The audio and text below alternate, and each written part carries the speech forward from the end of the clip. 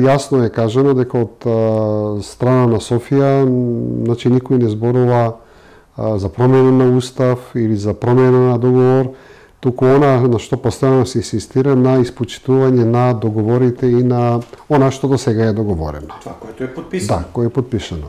Така што наистина не знам зашто таа таа пропаганда тргна во Македонија дека сега заради бугарскиот притисок треба да мениме устав или треба да даваме некакви нови посебни а, нели гаранции, таква работа очигледно во овој момент јас не чув од никој дека дека постои таква работа. Секој секој чувство дека некој на некој нешто зима, дека го загрозува на некој ниво, веднаш создава атмосфера за оние кои се непријателски настроени, не зборувам за оние кои се кои се пријателски настроени, веднаш да создаваат нови приказни, да создаваат многу нови атаки, да создаваат нови напади.